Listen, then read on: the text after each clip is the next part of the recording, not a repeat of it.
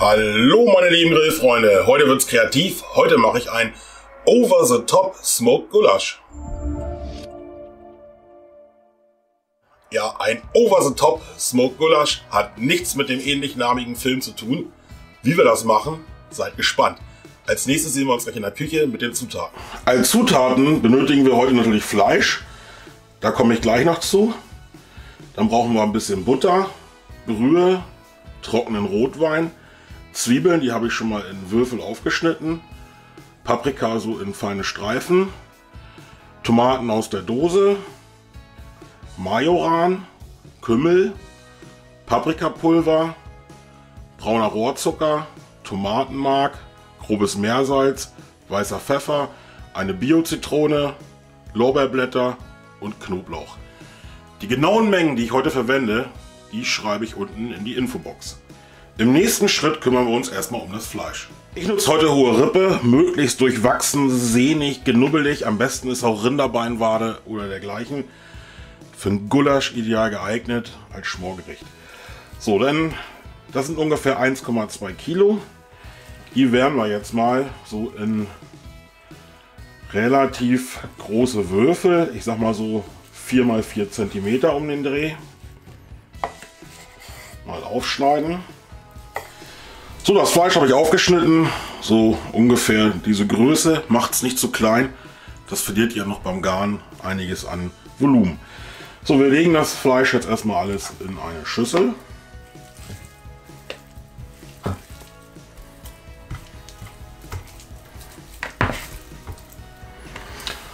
Und dann nehmen wir uns ein bisschen von dem Salz schon mal. So ungefähr ein Drittel.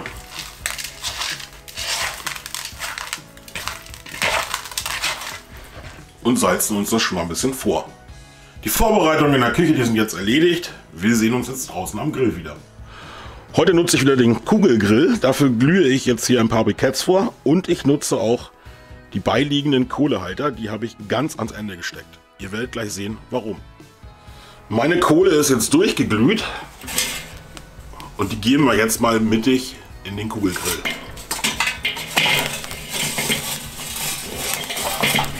Verteilen wir die uns hier noch ein bisschen.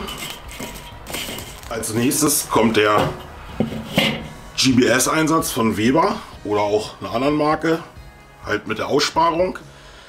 Wenn ihr den nicht habt, setzt euch hier zur Erhöhung einen Pflasterstein oder ähnliches rauf, weil wir werden jetzt nämlich dann den Dutch Oven einsetzen und von unten schön befeuern.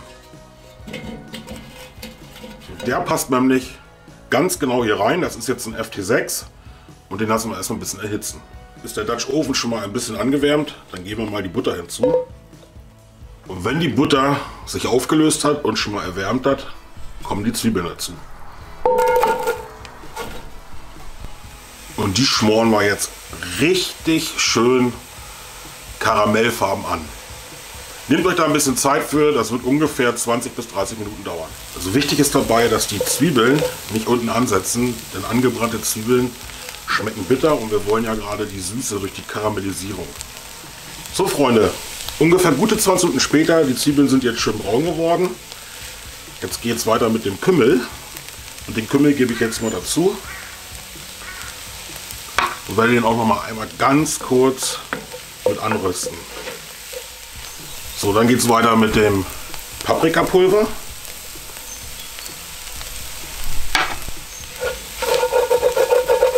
Dann machen wir uns in der Mitte ein bisschen Platz. Geben das Tomatenmark hinzu.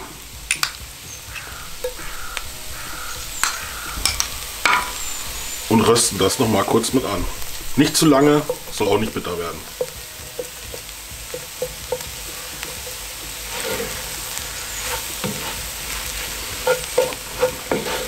mischen wir das Ganze gut. Freunde, hier kommt schon ein sehr angenehmer Duft entgegen. So, nun ist Zeit, mit dem trockenen Rotwein abzulöschen, ungefähr einen halben Liter.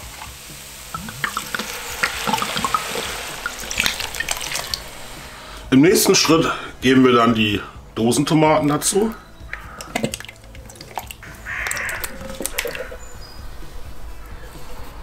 Dann nehmen wir uns die Brühe und auch mal die Dosen. Die spülen wir uns nämlich jetzt noch ein bisschen aus. Dann geben wir noch ein bisschen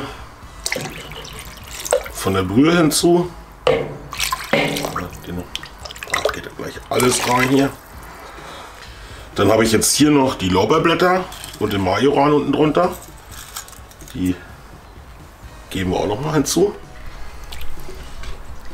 So, und da Tomate als Gegenspiel immer ein bisschen Zucker braucht, nehme ich jetzt hier schon mal die Hälfte von.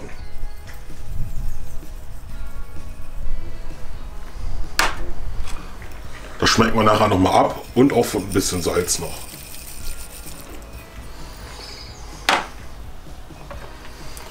Dann den weißen Pfeffer.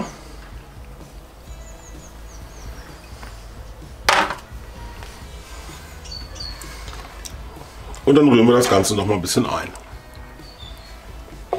Fast hätte ich den Knoblauch vergessen. Ich habe jetzt hier so einen halben Monoknoblauch.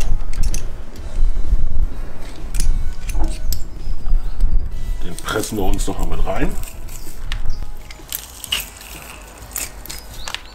Dann noch von der Bio-Zitrone. Da nehmen wir nur die Zesten.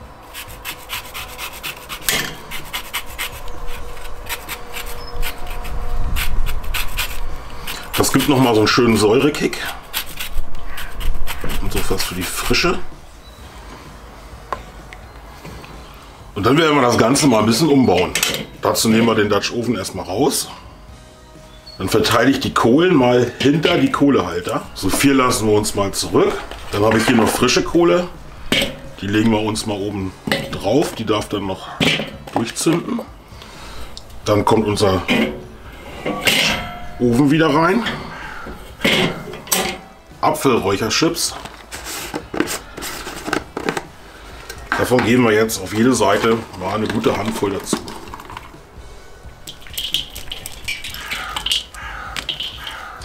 So, wie ihr seht, fängt das auch gleich schon schön an zu räuchern.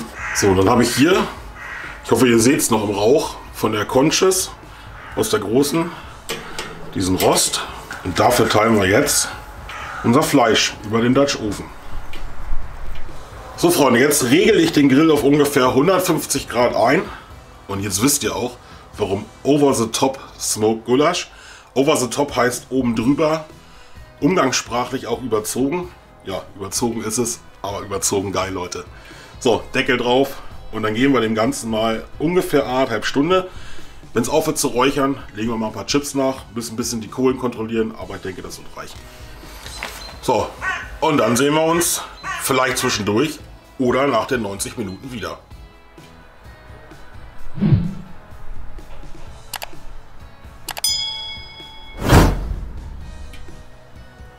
Freunde, 90 Minuten Smoke-Phase ist rum. Wir gucken mal nach. Ui. Zwischendurch habe ich immer noch mal ein bisschen Chips nachgelegt. Und dann setzen wir das mal so ein bisschen zur Seite. Und gucken uns mal an, wie unten die Soße aussieht. Ja, nun nehmen wir uns das Fleisch und setzen das jetzt in die Soße. Rühren wir das mal ein bisschen ein. Dann nehmen wir uns jetzt den Dutch Oven noch mal raus. Bauen jetzt hier noch mal ein bisschen um. Indem wir uns einfach von der Seite mal frische Briketts Wir brauchen jetzt nicht Hitze von unten. So, die sind nicht mehr ganz frisch, das müsste aber reichen. Wir wollen ja jetzt auch nicht mit so hoher Temperatur schmoren. Jetzt setzen wir uns den Dutch Oven wieder rein. Und jetzt habe ich ja hier noch meine Paprika. Und die kommen jetzt noch mal dazu. Ungefähr so für eine Dreiviertelstunde. So, das lassen wir jetzt schmoren. Einen Deckel für den Dutch Ofen brauchen wir nicht. Aber der Deckel vom Grill kommt wieder drauf. Und nach einer halben Stunde gucke ich mir das Ganze nochmal an. 20 Minuten später. Du schaffst das, Mann! Geh weiter! Später. Freunde, seht ihr hinter mir die weiße Pracht? Ja, manchmal ist das Wetter anders als erwartet. Obwohl, es war angesagt. Aber sieht das nicht schön aus? und Wintergrillen macht so viel Spaß. Aber jetzt geht's gleich weiter mit dem Over the Top Smoked Gulasch. Und Leute, das wird der Hammer. So Leute, dann gucken wir mal nach. Die Zeit ist jetzt rum. Oh, Freunde, so sieht's aus. Abgeschmeckt habe ich das. Und jetzt werden wir das mal probieren. Wir essen das gleich noch mit schön Spätzle. Aber ich nehme mal hier zum Probieren für euch eine kleine Portion. So Freunde, werden wir mal probieren. Nebenbei brutzelt es noch ein bisschen weiter oder schmort ein bisschen weiter. Ich kann es so zerdrücken.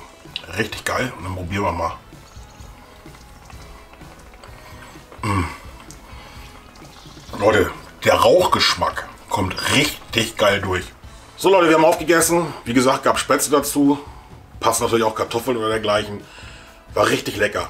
Der Rauchgeschmack ist mal eine ganz andere Nummer für ein Gulasch. Und wie gesagt, hat nichts mit Over the Top hier Silvester Stallone zu tun. Und umgangssprachlich, das finde ich einfach zu geil, deswegen muss ich nochmal sagen, überzogen. Und ich finde es überzogen geil, weil es eine ganz andere Nummer mal ist. Und wenn euch gefallen hat, wie ich mich hier durch die Winterlandschaft gekämpft habe, dann gebt mir einen Daumen nach oben, schreibt mal unten ein paar Kommentare rein, vielleicht wie ihr euer Gulasch macht, weil es gibt ja nicht nur ein Gulasch, es gibt ja viele Variationen. Und wenn ihr das noch nicht seid, dann könnt ihr hier vorne noch ein Abo geben für meinen Kanal, würde mich sehr, sehr freuen. Und auf der Seite könnt ihr gleich nahtlos zwei Videos von mir weitergucken. Und dann sehen wir uns mit der nächsten Folge, nächsten Mittwoch, wenn es wieder heißt, willkommen beim Grikutsch Gerrit.